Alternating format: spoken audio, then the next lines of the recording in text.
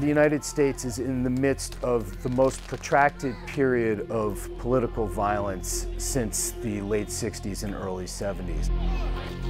But the violence now is much different, and the perpetrators are much different. Could the defendant please state his name? Anderson Aldrich.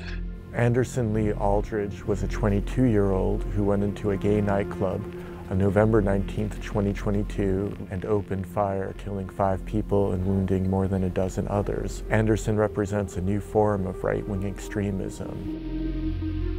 Historically, what we saw mainly was that people were radicalized either by joining groups, so militia movement or the militant civil rights groups of the late 60s and early 70s, or that you had these sort of lone wolf radicals who were motivated by a single issue, such as opposition to technology in the case of the Unabomber Ted Kaczynski. What we see today is more of kind of a grab bag radical uh, responsible for these fatal incidents of political violence. Anderson combined different elements that he absorbed online of cartoons, uh, memes, uh, videos. Uh, Anderson was without a clear, coherent ideology. Rather, Anderson latched onto uh, these hateful tropes and combined them and then went and targeted this gay nightclub in Colorado Springs.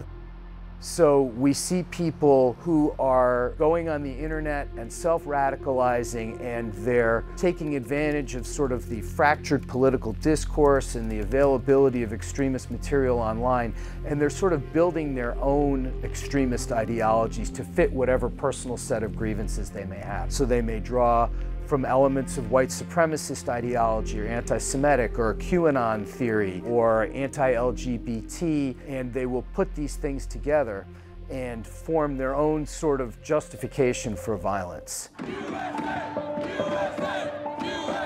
We've identified at least 230 incidents of political violence in this country since the January 6, 2021 riots at the U.S. Capitol. We've seen that violence from across the political spectrum. We found nearly two dozen cases of fatal political violence, resulting in 44 deaths. To get a better understanding of how these politically inspired killers become radicalized, we examined 14 of them in depth, looking at their social media histories, their internet posts, interviewing friends and families. All of these people were on the political right. None of them belonged to an extremist group. They all radicalized on their own. Anderson didn't work, lived with their mother, and Anderson existed, at least in part, in an online world of the gaming community.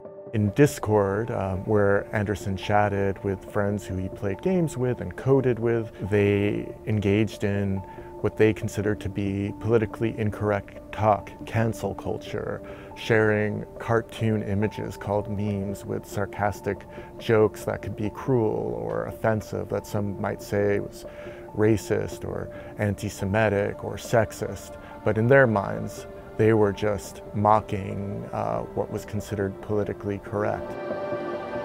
The summer before carrying out the Club Q shooting, Anderson created a website that he's that Anderson said was meant to uh, celebrate free speech, and that site was filled with far-right imagery, cruel cartoons of Pepe the Frog um, stabbing African Americans, uh, pictures with slurs advocating the deaths of Jews and the LGBTQ community. It was a deeply disturbing site. When Anderson carried out the attack on Club Q, Anderson's friends on Discord were left shocked because they didn't understand how this could happen. They didn't understand that Anderson could take what they saw as jokes and sarcasm and act in a way that was brutal and that would hurt people till this day.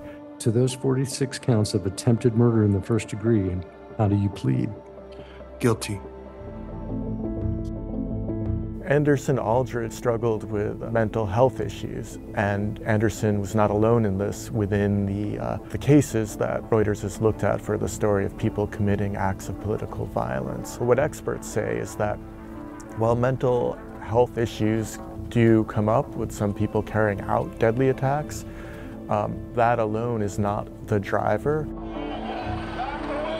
We spoke with dozens of law enforcement officials and academics who study political violence, and one thing that we heard again and again was that the mainstreaming of violent rhetoric and of sort of conspiratorial political ideologies has played a big role in this spike in violence that we're seeing lately. And that includes public officials, members of Congress, even former President Trump, who has espoused a variety of political conspiracy theories over the years, beginning with the theory that President Obama was not born in the United States. You also couple that with the world of the internet and the way that people explore the world online and come across different hateful and incendiary ideas. Together, these factors have led to this uptick in political violence that we are seeing.